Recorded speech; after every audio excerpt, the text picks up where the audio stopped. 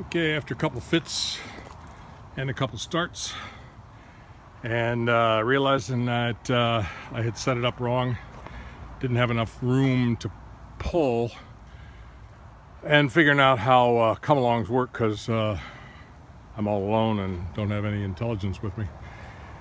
I got it set up and as you can see that it is actually beginning to pull.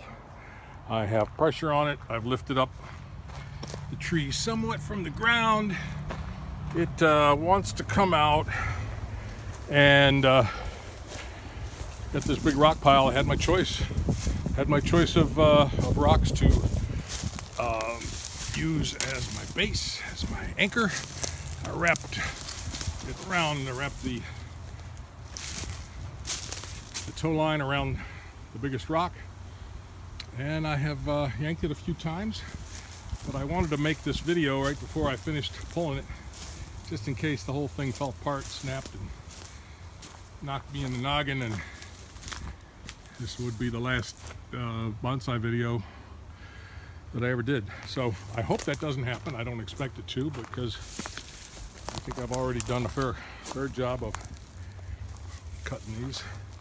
He's wanting to pull up, but you never know. You never know.